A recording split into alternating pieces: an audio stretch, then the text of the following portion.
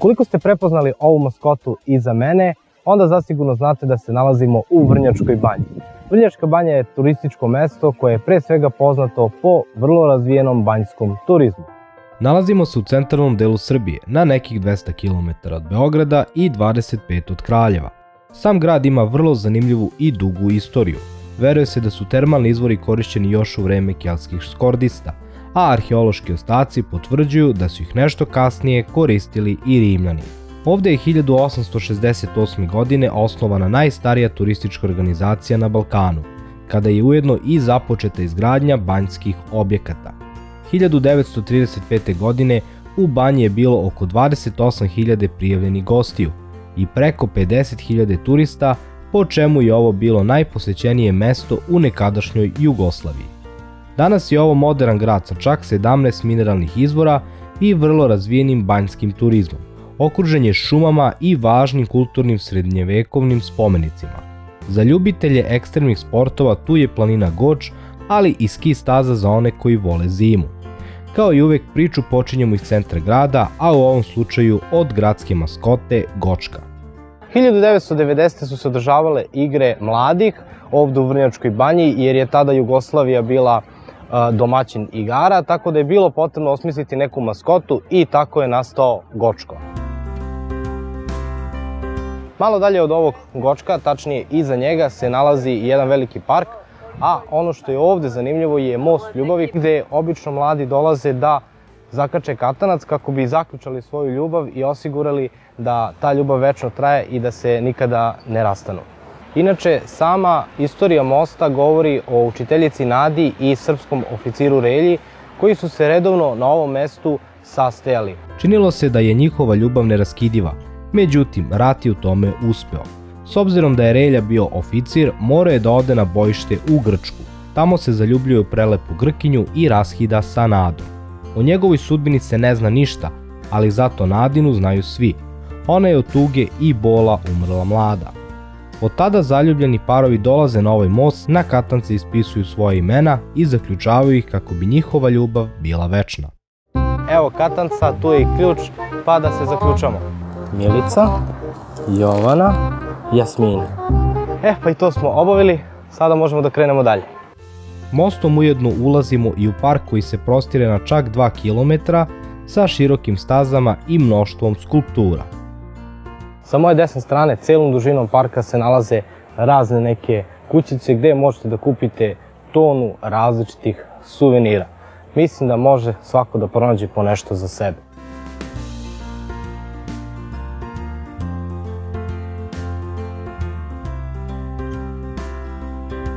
U samom parku se nalazi i izvor sa nazivom Topla voda. Iza mene se nalazi jedna od najpoznatijih građevina u Vrnjačkoj banji, a to je ovaj izvor tople vode, u kome voda izvire sa temperaturom od 36,6 stepeni, što je čini idealnom. Voda jeste za piće, ali na ulazu stoji upozorenje da nikako ne biste trebali da je konzumirate na sobstvenu ruku, već samo uz konsultaciju sa lekarom, zato što je voda vrlo lekovita i vrlo mineralna.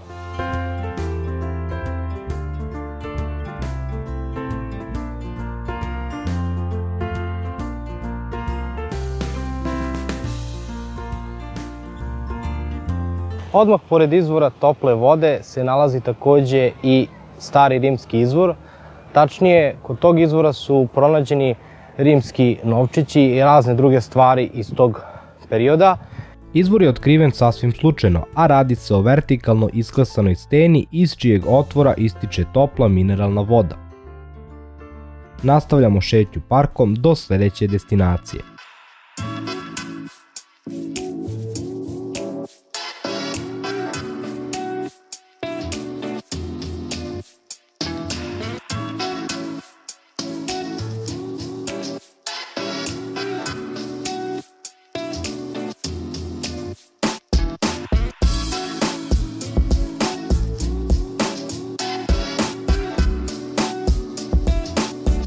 Nas, stigli smo do našeg odredišta, izvor Snežnih. Ova voda je takođe mineralna i takođe lekovita.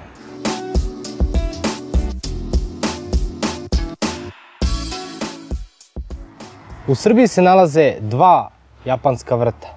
Jedan je u Beogradu, a onaj najveći je ovde u Vrnjačkoj banji. Pa hajmo da malo uživamo u prirodi i da vidimo šta tu ima.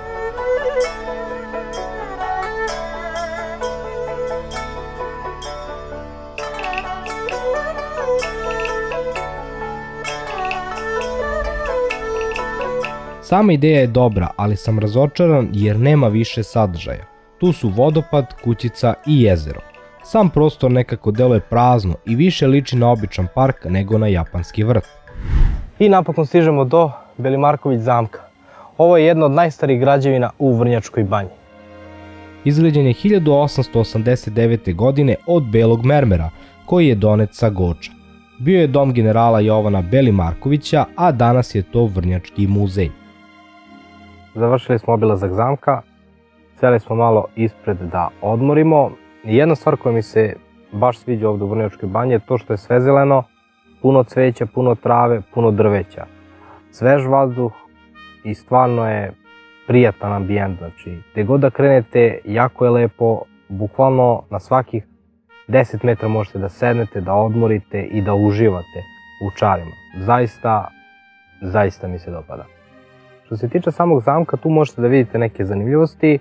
Kroz gore na spratu ste mogu videti i rimski novčići, a, zatim neko drugo kamenje koje je pronađeno na ovde raznim lokalitetima. A, u prizemlju se nalaze fotografije, stare fotografije Vrnjačke banje, dok se u podrumu nalazi replika neke stare česme iz 20. veka, takođe mnoštvo slika i fotografija koje su stare 20, 50, možda čak i više godina i nalaze se neki stari zapisi, e, knjige i tome slično.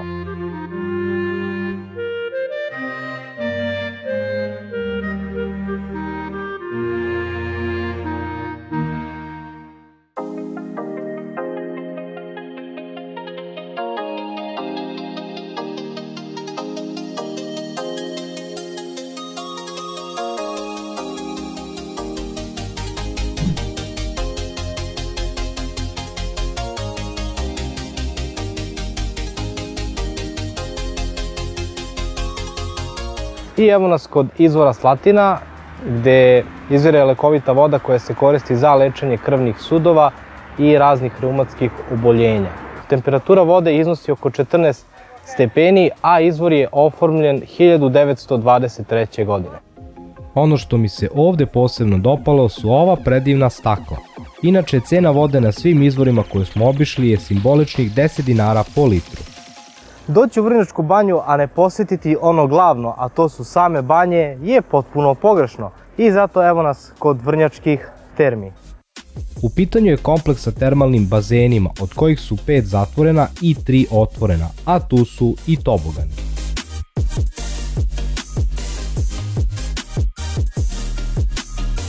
Voda u bazenima je topla, izuzev u jednom bazenčiću za decu, to je bila nešto hladnija. Što se tiče čistoće, pa tu i tamo. A, pojedini bazeni su bili ekstra čisti, ali jedan recimo bazen je bio katastrofa prljav. Problem je što ljudi koji ulaze ne poštuju pravila. Dakle, ulaze sa jako prljavom obućom, zatim ne tuširaju se pre ulaska u bazen. I to je recimo problem na koji bi vlasnici trebalo da obrate pažnju. Čitajući Google ocene, neki su se požalili i na nedostatak slobodnih ležaljki, ali i na opuške cigareta po podu pored ležaljki. Na drugom kraju grada se nalazi Aqua Park Raj, koji nažalost nismo posetili. U njemu su glavna atrakcija tobogani i bazeni sa talasima. Po slikama deluje lepo i uredno. Ovde se nalazi i izvor jezero, a u blizini je i ovaj veliki panorama točak. Što se tiče izvora jezero, oformljen je 1978. godine, a temperatura vode je 27 stepeni. Iza se nalazi predivno jezero u kojem smo zatekli i jednu patku koja uživa.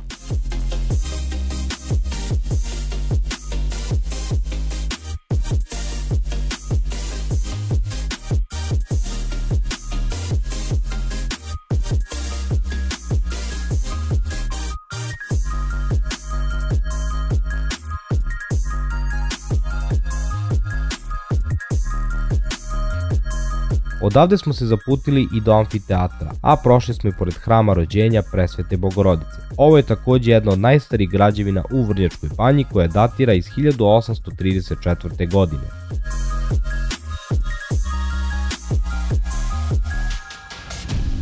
Što se tiče amfiteatra, nažalost nisam mogao da uđem unutra jer je ograđen i zatvoren. Ukoliko ovde želite da siđete, može biti malo nebezbedno, jer pogledajte, to uopšte nije sređeno. Kao da su tu započeti neki radovi i da onda to uopšte nije završeno. Ne znam šta tu treba da bude i zašto je to tako. Nemamo ogradicu, tako da jeste lepo, ali nažalost može biti i opasno. U same stepenice smo naišli na ova vrata koja vodu u nekakvu pećinu. Saznali smo da se radi o tunelu dugačkom oko 200 metara sa nekoliko prostorija. Iskopan je između 1942. i 1944. godine, a u njemu je trebalo da bude glavni štab Nemačke komande za jugoistočnu Evropu. Nažalost, tunel još uvek nije otvoren za turiste. Napokon smo sišli do zgore, završili smo ceo krug, znači obišli smo skoro ceo grad. Sada idemo na destinacije koje su malo dalje od grada, gde će nam biti potreban auto. Ajmo!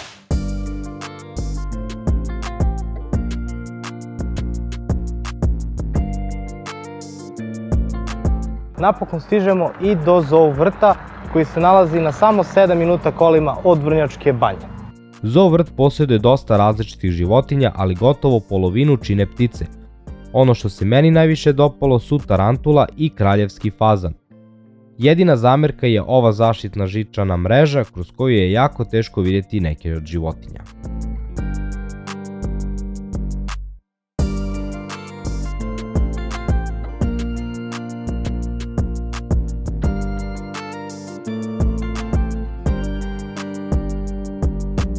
Obzirom da smo u prolazu, rešili smo i da posetimo manastir Svete Petke koji se nalazi u mestu Stubal. Sama istorija manastira je vezana za četvorougaoni kamen koji podsjeća na stub, za koji se veruje da je lekovit. Pretpostavlja se da je ovaj kamen nekada bio deo drvene crkvice koja je nestala u periodu pre 1900. godine. Novi manastir je izgrađen 70. godina, a iza njega je kasnije napravljen i mali biblijski park.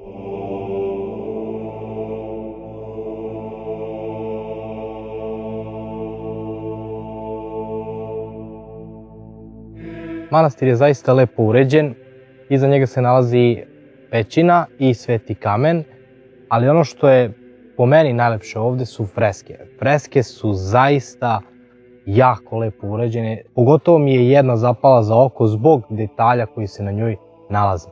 Čini se da su se baš potrudili da ovaj manastir urede i da ga podignu na neki viši nivo.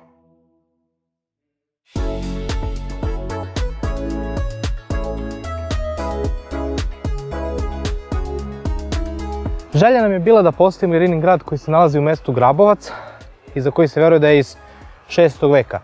Međutim, kada smo došli do mesta gde je potrebno da se odvojimo sa glavnog puta, shvatili smo da put ne postoji, već je u pitanju obična šumska staza, urasla u neko granje šiblje, pa sam postao sumnjičav da li je to zapravo mesto gde trebamo da idemo.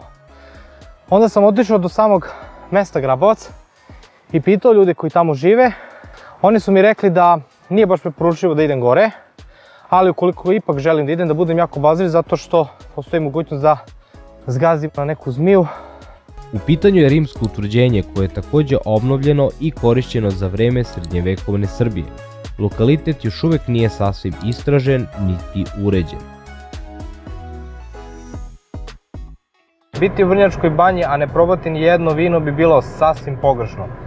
Zato smo se mi uputili u vinariju Milosaljević, za koju smo čuli da ima brojne zlatne i srebrne medalje, pa da vidimo kako je to vino. Vinarija se nalazi u selu Bučje na 20 km od Vrnjačke banje. U pitanju je porodična tradicija stara preko pet generacija, a glavni krivac za ovakav kvalitet je Milomir Milosavljević. U svojoj ponudi imaju 9 sorti vina koje su poznata pod brendom Vila Vina. Ukoliko ste ljubitelj dobrog vina, ovde svakako morate da dođete. U samoj okolini Vrnjačke banje postoji nekoliko proizvođača, a na samo 40 km se nalazi i opština Aleksandrovac, koja je poznata po proizvodnji vina sa preko 20 proizvođača. Znam zašto sam došao ovdje.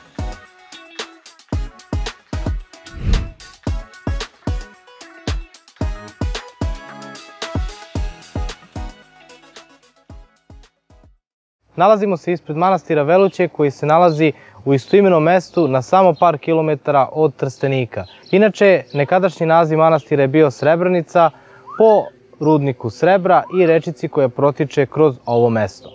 Manastir je građen krajem 14. veka, a zadužbina je nepoznate porodice koja je pripadala vlasteli kneza Lazara. Manastir je u jednom periodu bio oštećen, pa su usled prokišnjavanja stradale i freske. Obnavljan je 1833. i 1836. godine i tada je dobio nove šare i slike na spoljašnjim zidovima.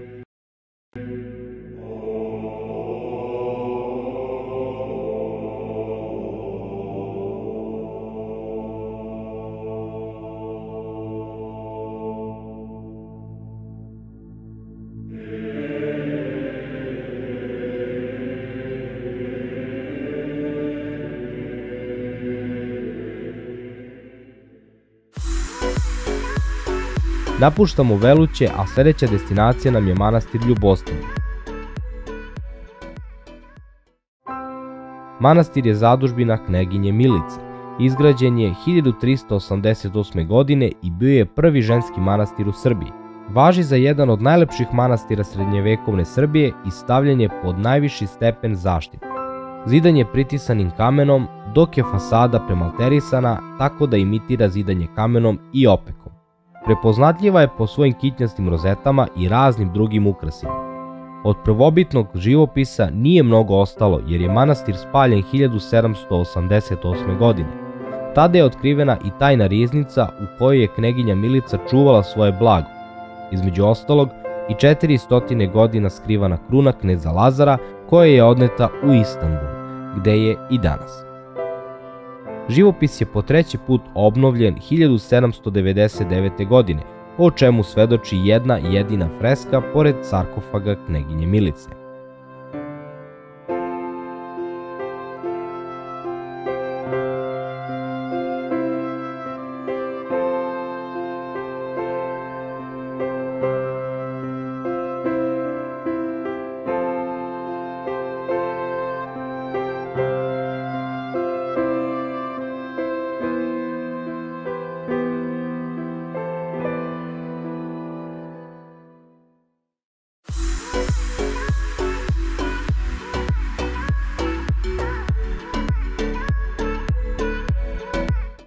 Evo nas u još jednoj predivnoj dolini, okruženi sa brdima sa sve četiri strane, a ono što se ispred mene nalazi je manastir Kalinić koji datira iz 15. veka. Samo ime je dobio po svojoj lepoti od grčke reči kalos, što znači lep. Manastir je posvećen vavedenju presvete bogorodice, a zadužbina je protobestijera Bogdana. Sagrađen je između 1407. i 1413. godine, Živopis je rađen u vizantijskom stilu, a najčuvenija freska je svadba u Kani Galilejskoj. Freska opisuje prvo Hristovo čudo kada je vodu pretvorio u vino. Manastir je oko 100 godina bio bez krova jer su ga Turci spalili, pa su freske u gornjem delu potpuno uništene.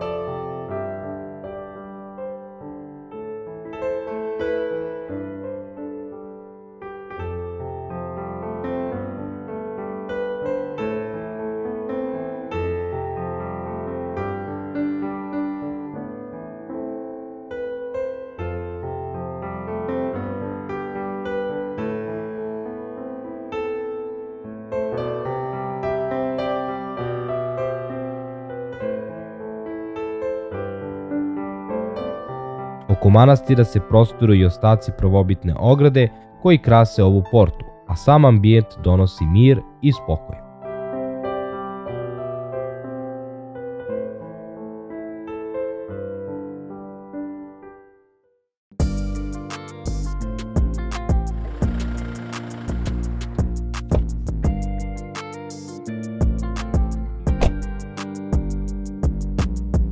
I za sam kraj dana smo ostavili spomenik Popina na koji se sad upravo penjemo. Jednostavno stanete dole pored glavnog puta. Prošao sam pored nekoliko klupi na koje možete da sednete da odmorite, pošto je, ajde da kažemo, uspon malo veći. Ali nema puno da se pešači. Mapa kaže da ima svega nekih 200 metara. Polako već pada mrak. Iskreno sam se već umorio, pošto žurim da stignem, a komarci me grizu. Dakle, pošto smo ovde u prirodi, u šumi, milion komaraca je došlo. A ja izgleda sam ovde trenutno jedina hrana za njih. Uh, ovo je baš ogromno. Mnogo je veći nego što to deluje na slikama. Evo ja ću stati ovde ispod. Kameru sam ostavio tamo da biste mogli da vidite koliko je zapravo ovaj spomenik veliki. Sviđa mi se mesto. Šuma, zelenilo, na onoj strani pogled, zaista predivno. Spomenik se sastoji od četiri dela. Građen je od 1978. do 1980. godine, a u narodu je poznati pod imenom Snajper. Kao što je i zapisano na ovoj kocki, na ovom mestu je 13. oktobra 1941. godine, braneći granice Užičke republike, Vrnjačko-Trstenički NOP odred vodio žestoku borbu s petostrukom nadmoćnijim nemačkim kolonama.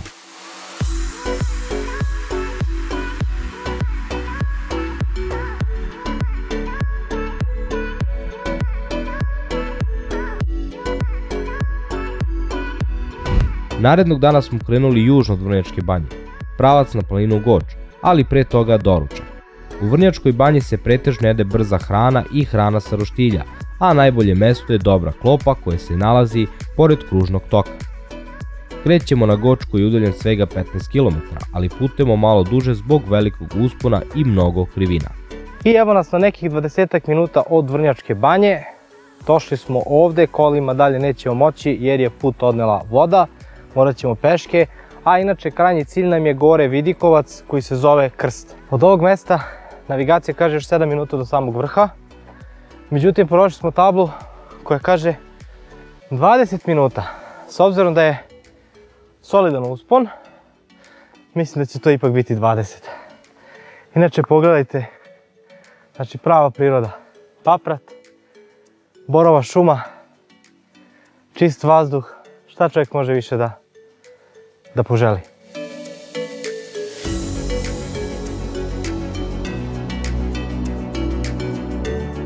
Dužina staze je oko 1,3 km, a vreme potrebno za prelazak je oko 40 minuta.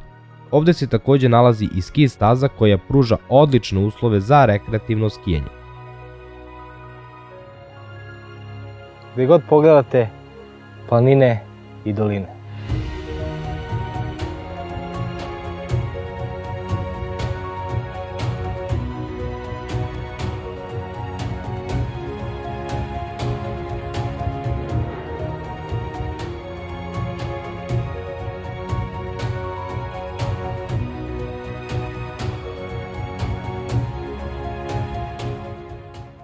Stigli smo do zgore, sledeća destinacija nam je Obližnje jezero.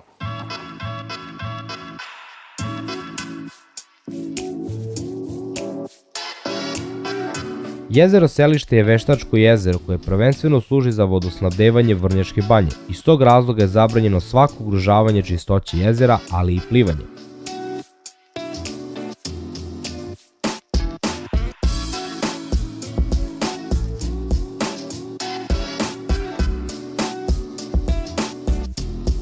Ovde smo inače naišli i na ekipu koja nudi vožnju kvadovima do obližnjih Vidikovca. Cena vožnje je 30 ili 60 eura u zavisnosti od destinacije. Mi smo međutim ipak odlučili da ih posetimo svojim kolima.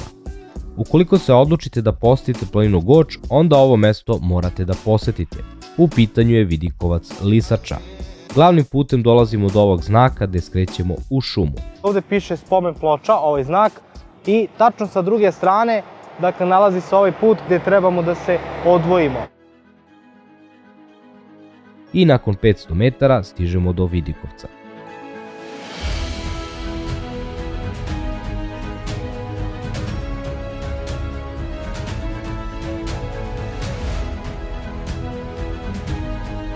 Pogledajte vi ovo.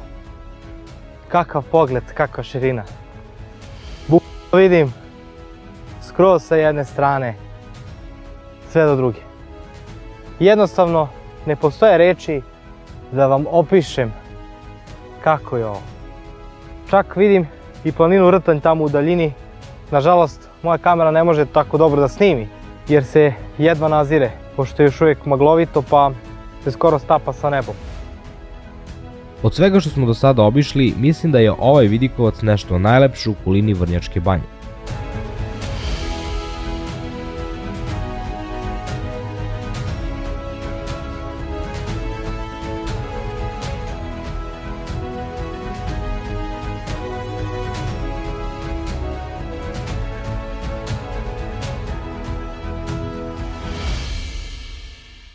Evo u blizini, 2 km dalje, još jedan vidikovac i još jedan pogled na Srbiju.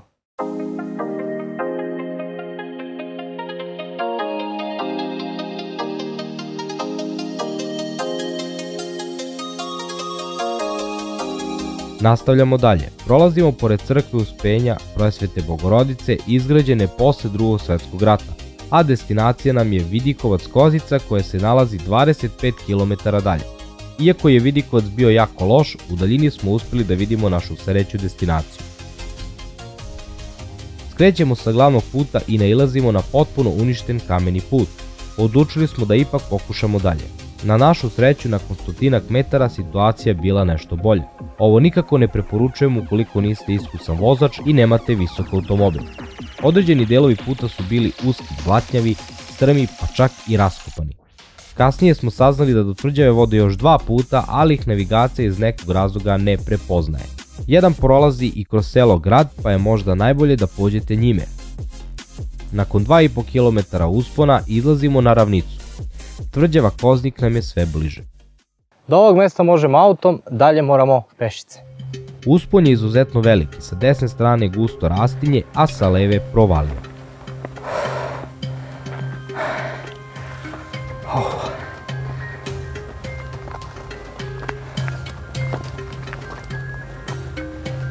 Kričkom oka sam uočio nešto kao klupa ili slično i poradovao se da ću da sednem da odmorim.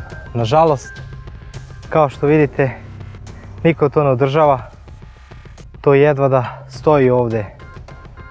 Strah me čak i da kročim nogom.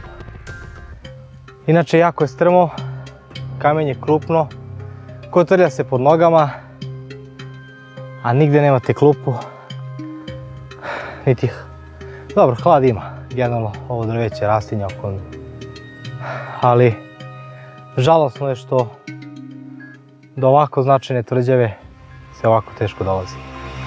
Prešli smo oko 150 metara staze, a preostalo nam je još 80.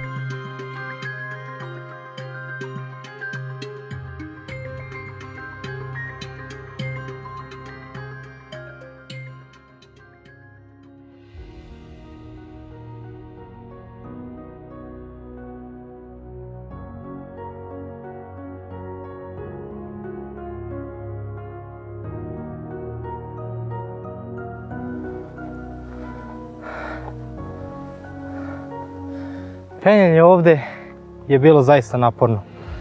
Takođe morate da pazite da negde nema neka zmija. Međutim, sasvim jasno zašto je ova tvrđava baš ovde na ovom mestu. Zato što je ovo jedini prilaz, jedva smo se popeli sa svih drugih strana u krug strmina. Bukvalno tvrđava je bila neosvojiva. A pogled, šta da vam pričam? Čitava dolina okružena brdima.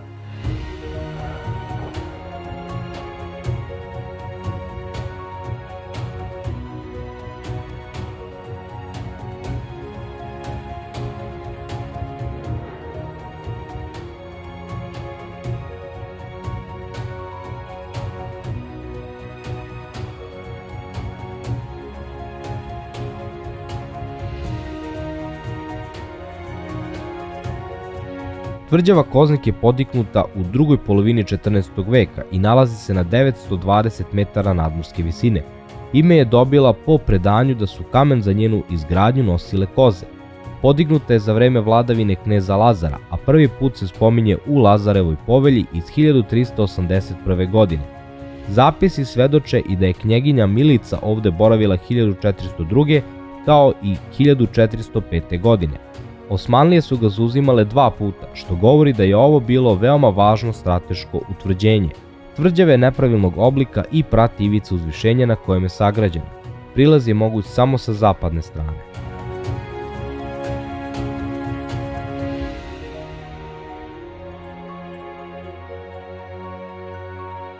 Gledajući neke stare slike na internetu, s ovog mesta ovi stolovi su bili celi. Međutim, sada vidimo da je ovo jedan polovljen zato što je palo neko kamenje. I to, verovatno do zgore.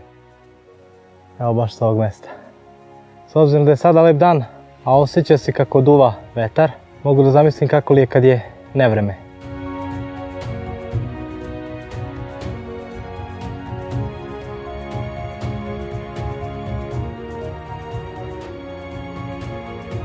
Čak i na ovako jednom teško pristupačnom, ali lepom, pre svega lepom mestu, možemo da vidimo nešto poput ovog ovde. Ljudi nimalo ne mare i đubreva za sobom ostavljaju na sve strane, pa čak i ovde. Šta dalje reći? Kultura je kultura.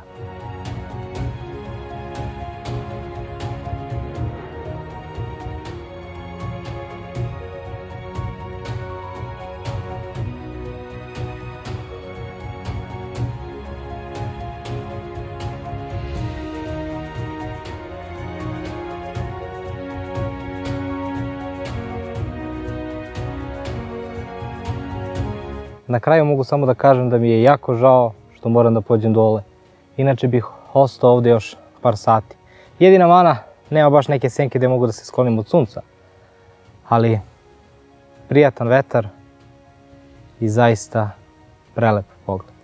Jednostavno, ne postoje reči kojima mogu opisati ovu lepotu.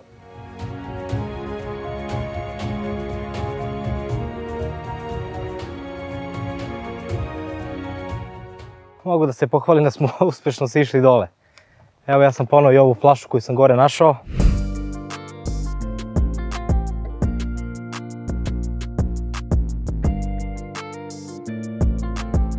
Dolazimo i do mesta gde se nalazi manastir Milentije, odnosno ostaci tog manastira. Kao što vidite iza mene, ovde je reka usled nevremena i bujica odnela ovaj deo mosta, pešaka može pažljivo da se prođe Ostaci manastira su odmah pored puta.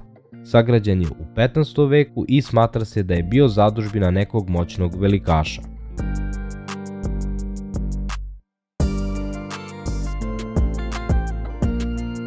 Danas imamo samo ove ruševine. Koga je tačno gradio nije poznato, ali ono što jeste je da je bio u moravskom stilu i da je bio vrlo važan u ono vreme.